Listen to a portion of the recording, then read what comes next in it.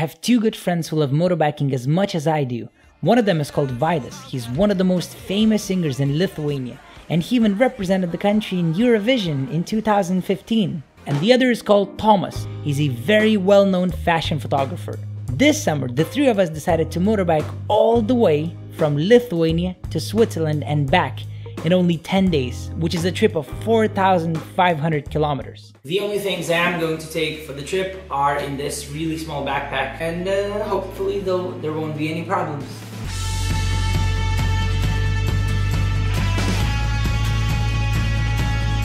The first day, all of us were extremely busy, and we could only start motorbiking at 8 pm, which is arguably extremely late. We're already done 100 kilometers.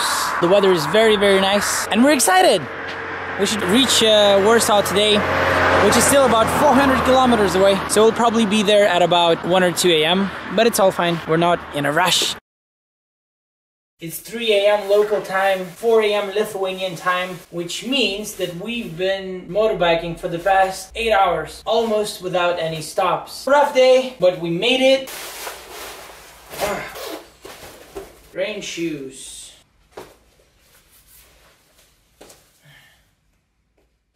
This is the morning of the day number two, and we're ready to go towards Vienna. We'll have some breakfast now and then go all the way for about 700 kilometers, I think. So it's gonna take us way more than 10 hours.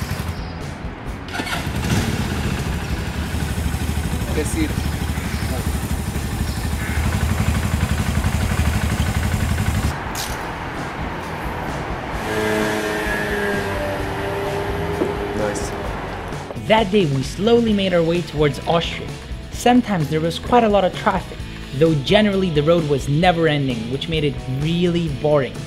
But we still managed to have a lot of fun together.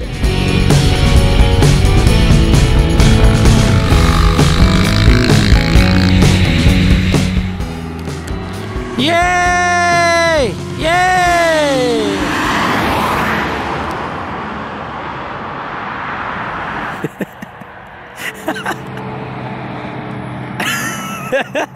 That night we didn't reach Vienna and slept in Brno, but I was too tired to film anything. Poor mosquitoes. Poor mosquitoes. Oh, look, it's me. What up?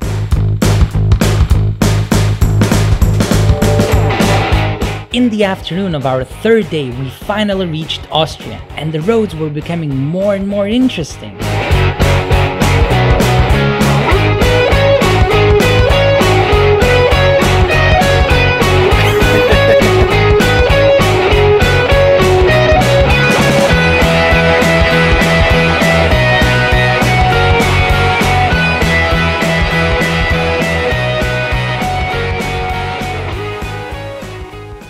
So this is our first morning in Austria. And I'm at my balcony and take a look at the view I'm seeing now.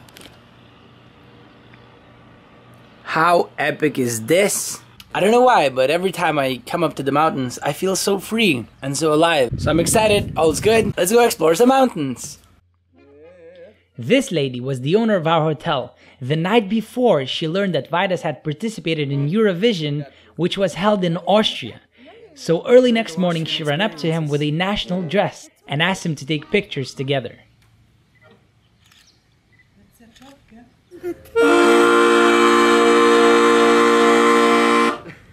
Uh, sorry. It looks like from a milk advertisement, no? With the with the mountains in the background. Look, the mountains. Vaidas. Somebody should hire you. Ančių kalno ašmenų Ir man gerai mes kai abu Dainuojame visi kartu. Su moteriške štai šita Kuri į lovą. Atnešė šį rytą jį. Tokia labai labai graži. Yeah!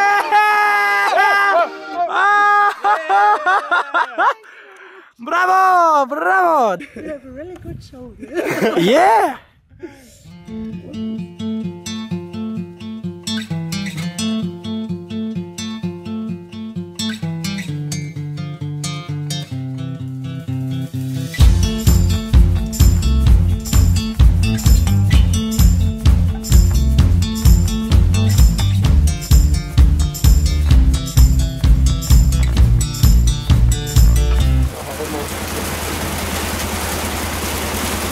are currently in a crazy rainstorm and we need to go up the mountains for about one kilometer. We'll have to be driving for 40 kilometers in this crazy rain and my shoes are already soaked so I just got all of my waterproofs and I hope they will uh, help me out.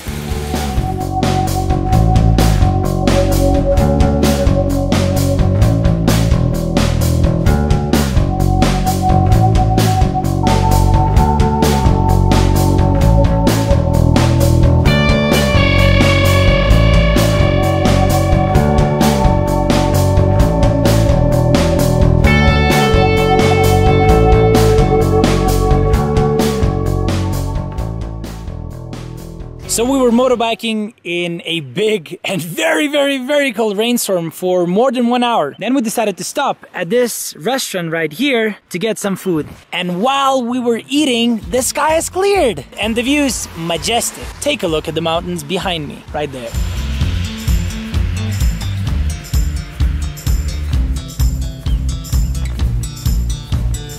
These views are the reason we motorbiked 1,500 kilometers in just three days. And it's definitely worth it.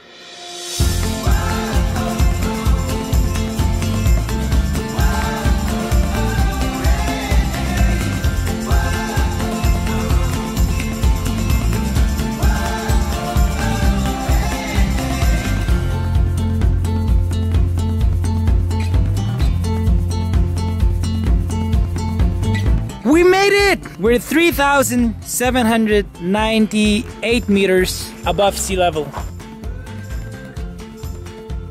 And the view is remarkable. So good, though so cold. Look at my hands, they're almost shaking.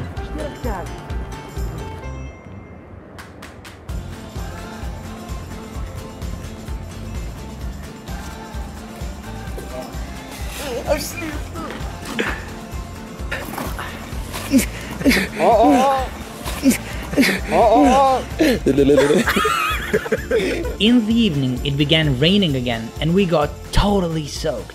This is how you dry your clothes when there's no other heating. As you can see, this is an oven with some tasty barbecue shoes inside, some gloves, a backpack that's totally soaked, another backpack, another pair of shoes, and whatever else.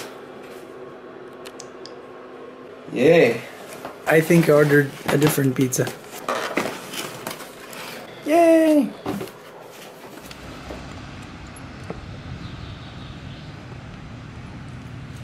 We're back in the mountains, but today the weather is absolutely amazing. And we're gonna go explore a beautiful waterfall. It's supposed to be one of the best in Austria, as I heard. Let's go!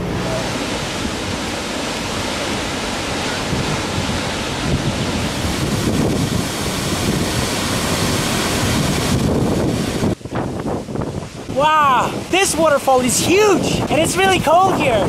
So very, very, very beautiful. I was just standing on that cliff right there. That is the closest point you can get to the waterfall. I'm so happy. Look at this beauty.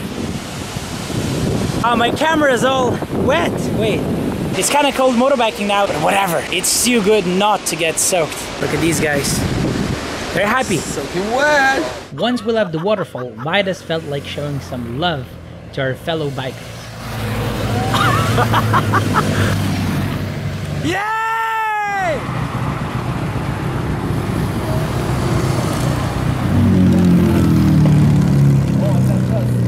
There's so many bikes on these roads. Look at those guys. There's literally hundreds. Yeah! Woo!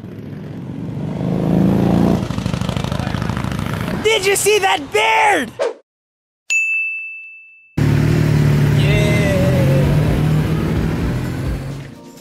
Throughout those few days in Austria, I realized the country was full of really beautiful lakes, literally anywhere you went.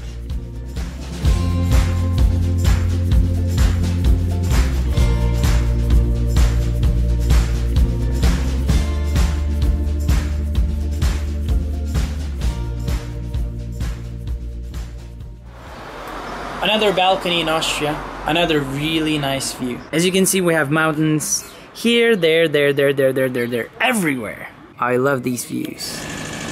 Hello!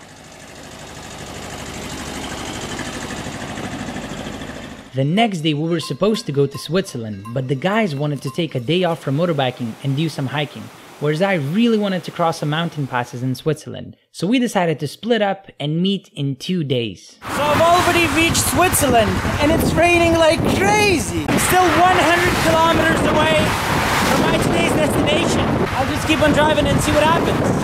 Let's go. That is so Swiss. Hundreds of people are waiting for a football match, literally in the middle of a random street.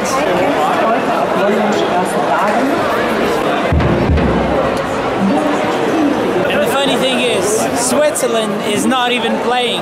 There's people having a picnic, waiting for a football match.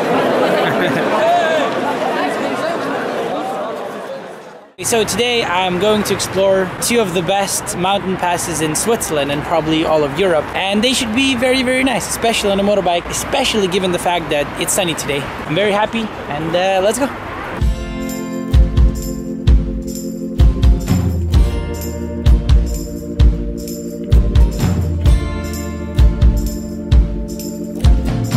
These roads were definitely the best roads that I've seen throughout the whole trip, and the views were breathtaking the whole way.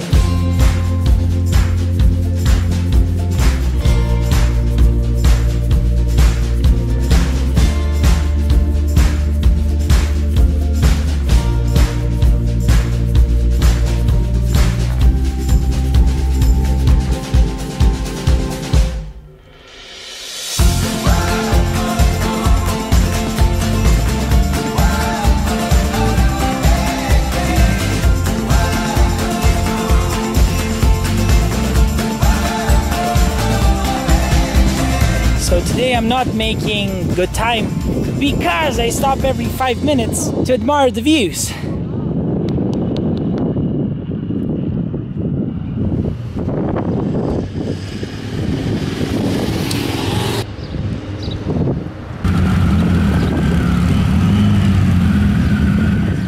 This town was almost at the border with Italy. Since I didn't want to go any more down south, I turned around at this point and went to North Switzerland.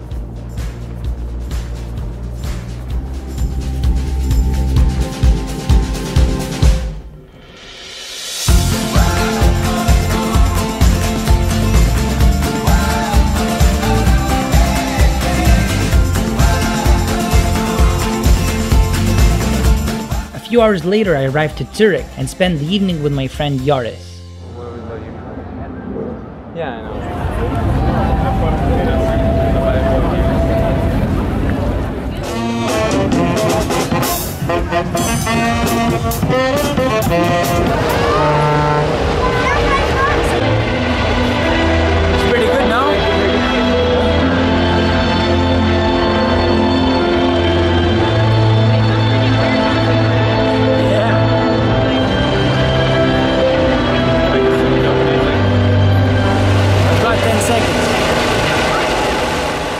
Early the next morning, I went back to Austria where I met up with the guys and all of us headed back towards Lithuania.